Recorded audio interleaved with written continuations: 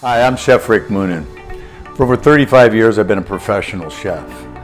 I've traveled the world doing special dinners, events, functions, lectures, and cooking demonstrations. I've carried with me pretty much the same knives, set of tools, everywhere I've gone. Recently, a good friend of mine came up to me and asked me why I did that, and I explained to him. Each one of these blades or tools has a specific function, and collectively, they pretty much cover the entire gamut of anything that I'm going to run into as far as a kitchen situation. And that was the advent of blades.